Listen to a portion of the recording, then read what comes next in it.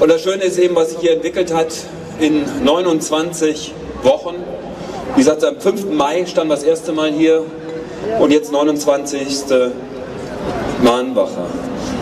Und es hat sich halt eine ganze Menge entwickelt. Das, was Angela vorhin schon sagte, wir haben also hier viele Reden gehört, wir hatten verschiedene Musiker auch hier gehabt, wir hatten Rüdiger Lenz als, als Redner beispielsweise hier.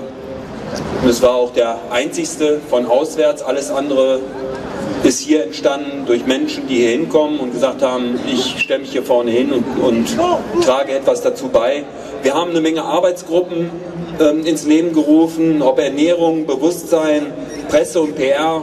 Darüber haben wir auch schon einige Zeitungsberichte bekommen, ein Radiointerview äh, bei, bei, oder ein Radiobericht bei Okerwelle beispielsweise. Ähm, Musikgruppe. Ich habe nach 25 Jahren wieder angefangen, Gitarre zu spielen. So lange stand meine Gitarre in der Ecke. Also solche Sachen passieren hier auf der Mahnwache. Solche Sachen passieren dadurch, dass man sich einfach wieder ein bisschen mehr mit sich selbst und seiner Umwelt oder seinen eigenen Fähigkeiten halt auch auseinandersetzt.